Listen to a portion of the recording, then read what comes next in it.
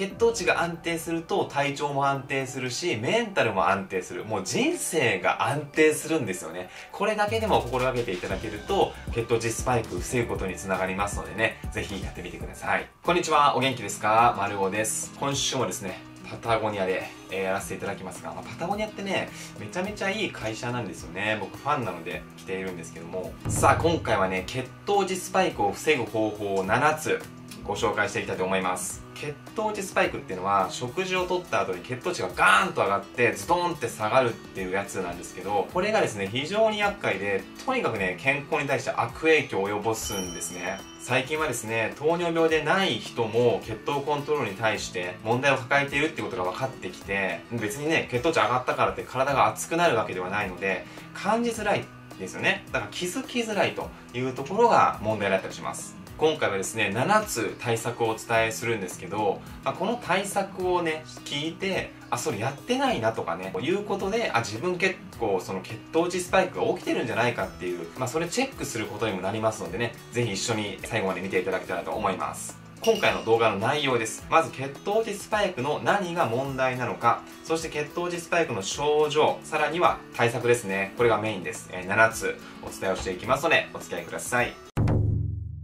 さあ、まずですね、血糖値スパイクの問題点なんですけど、まあ問題点だらけなんですね。血糖値が急に上がって、急に下がるっていうのはもう本当に大変なことになります。えまずですね、大量のグルコース等ですね、それが細胞の中に流れ込んできますので、もうミトコンドリアね、これがまあ糖を処理する場所なんですけど、そこが処理しきれないと。で、これによってですね、活性酸素がたくさん発生をしてしまうということですね。まあ活性酸素っていうのは皆さんご存知の通り、病気の原因にもなるし、老化の原因にもなる。体の中に炎症も起きてしまうと非常に厄介なものです体に酸化ストレスを与えてしまうというところですねあとはこれもよく動画でお話ししていますが糖化ストレス AGE ですね、えー、終末糖化産物というのが体の中でできてしまう。これも病気や老化につながるというところ。あとは反応性の低血糖といいまして血糖値がね上がった後にぐーっと下がる。でこの血糖値が下がりすぎる。こうなるとですね様々な症状を引き起こしてしまうということがあったりします。あとはインスリンのね抵抗性が増してしまって、えー、まあ、ゆくゆくですね糖尿病につながっていく。糖尿病のリスクが上がってしまうというところ、え、あとダイエットにとっても大敵です。血糖値スパイクというのはねすぐにお腹が空いてしまいますので食事量が増えてしまってね太りやすくなってしまう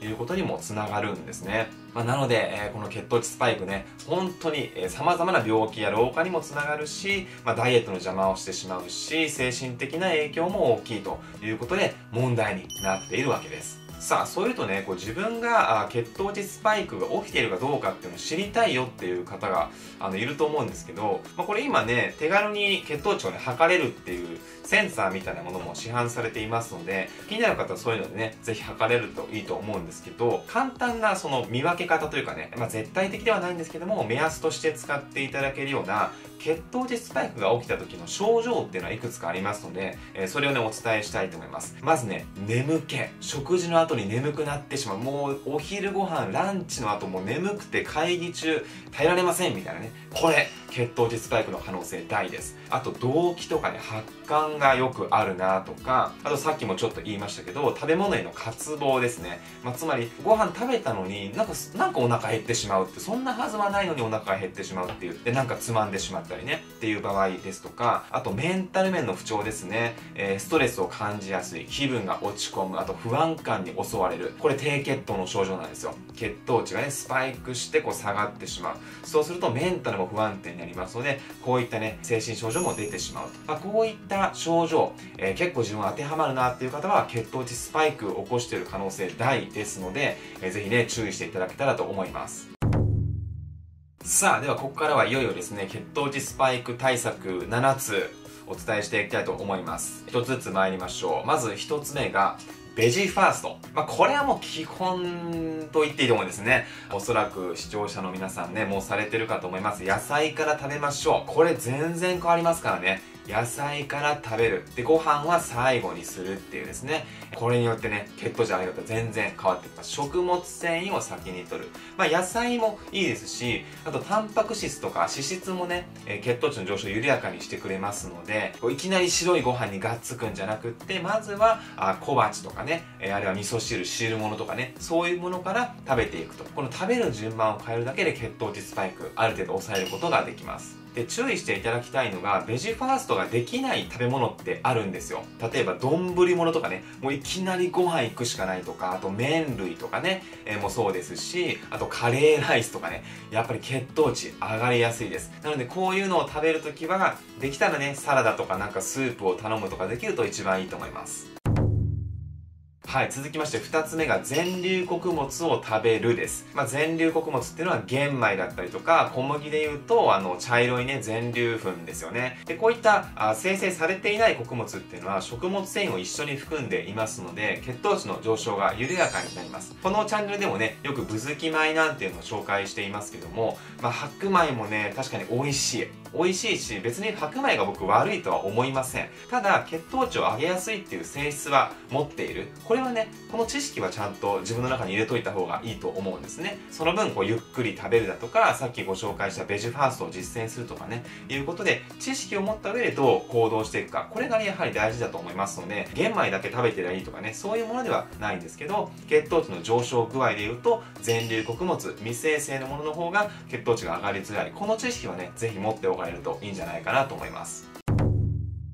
はい、どんどんいきます。次、3つ目が、セカンドミール効果を狙うです。このセカンドミール効果っていうのは、最初に食べた食事が次の食事の食後の血糖値の上昇にも関係してくるっていうことで、まあ、分かりやすいのがね、朝ごはんを食べないっていうことなんですよね。で、朝ごはん食べないと空腹状態がずっと長く続くことになりますので、お昼ご飯食べた時にやっぱりね、血糖値って上がりやすくなるんですよ。まあ、この間ね、16時間断食の動画でも少し触れましたけど、まあ、朝ごご飯をね食べずに空腹時間を延ばすこれメリットはあるんですよ。人によってねメリットはあるんですけどただこれも知識ですよね。さっきの白米の話と同じで空腹時間が長くなるってことは血糖値上がりやすくなっている。この知識はちゃんと持っておいた方がいいと思います。でね、このセカンドミル効果を考えると、朝ごはんしっかり繊維質のあるもの、野菜とかね、豆とか海藻とか食べておく。え朝ごはんからしっかりそういったものを取っておくと、お昼ご飯食べた時の血糖値の上昇緩やかになりますので、結構ね、この血糖値スパイク気になるなって方は、朝ごはんを工夫する。これね、ぜひやってみてもらえたらと思いますね。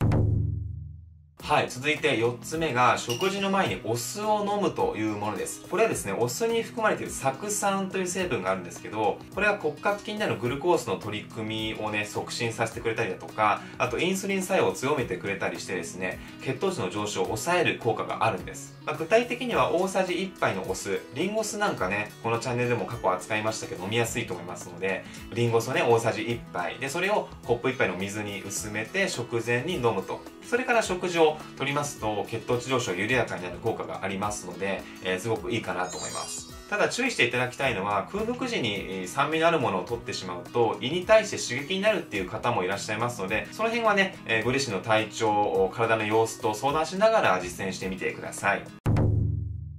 はい、次いきます。5つ目、飲料に注意です。もちろんね、甘いもの、砂糖っていうのは血糖値を上げます。上げるんですけど、中でも飲み物は要注意。飲み物っていうのはね、胃に溜められないで、いきなりもう腸にガンガン流れ込んできますから、血糖値ね、爆上がりします。で、特にお腹空いてる時ね、空腹時に甘い飲み物を飲むと本当に血糖値上がります。僕も以前ね、その血糖値のセンサーをつけて、お腹空いてる時にタピオカドリンクを飲んだことがあるんですけど、もう完全にスパイクしました。だから甘いものを注意なんだけどもその中でも特に飲み物は注意。これぜひ覚えておいてください。で意外とねヘルシーそうな果物ジュースフルーツジュースなんかもねあの結構血糖値上がりますんでね。たまに飲むのすごく美味しいんですけど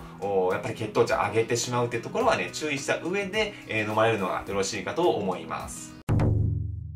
はい続いて6つ目は筋肉を増やすです。筋肉ってねすごく血糖コントロールに対して重要でその血糖値が下がっていく時に筋肉にどんどん取り込まれていくんですね。だから筋肉が少ない人運動していない人っていうのはそのしまい込む要はタンスの引き出しが少ない状態ですよね。で、タンスの引き出し少ないと部屋に服が溢れていきますよね。あんな感じで体の中に糖が溢れることになりますので、しっかりね、運動して筋肉をつけておくこと、特に下半身、足の筋肉すごく重要ですので、まあ、散歩したりとかね、ウォーキング、ジョギング、なんでもいいんですけど、しっかりね、筋肉を使って衰えないようにしていく、これ非常に重要になってきます。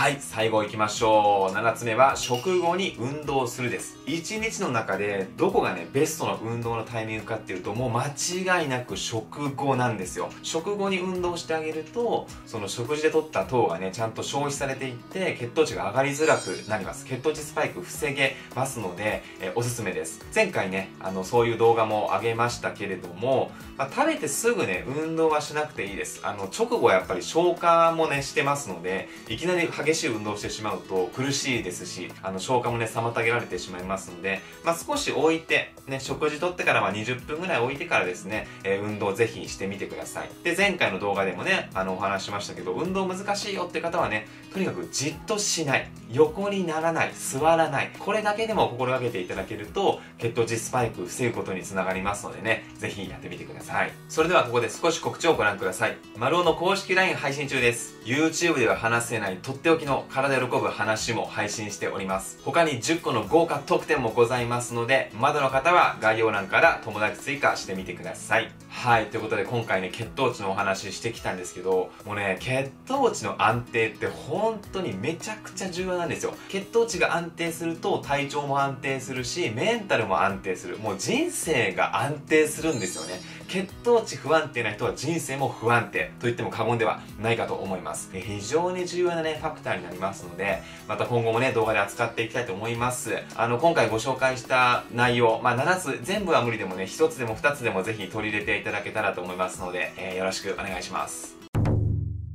では最後にコメント紹介のコーナー参りましょう。緑茶のカフェインについての動画ですね、コメントいただいております。まずは一番いいねを集めた方がこちら。これもちょっと ID 名が読めないんですけども、ありがとうございます。茶畑をね、親御さんから引き継いで育てていますっていうことで、しかも農薬なし。いや素晴らしいですね。僕も飲んでみたいです。まあね、あの、あの動画あげたんですけど、やっぱり緑茶すごくいいのに、なんかカフェイン気にして飲んでないっていう人すごくね、多いなっていうのが残念に感じていて、まあ、前回の動画見ていただいてね、じゃあ緑茶飲んでみようかなっていう人が1人でも2人でも増えてきたら嬉しいなと思います。そして僕が一番気になったコメントがこちら。私は緑茶が全く体に合わず、コーヒー以上に胃袋に刺激があります。もちろん無農薬オーガニックです。またコーヒー以上に目が覚めてしまう、あまり健康的な飲み物とは思えないのですが、うん、まあこれもね、重要な意見ですよね。あの、別に緑茶に限らずね、あらゆる食べ物、飲み物っていうのは個人差がありますので、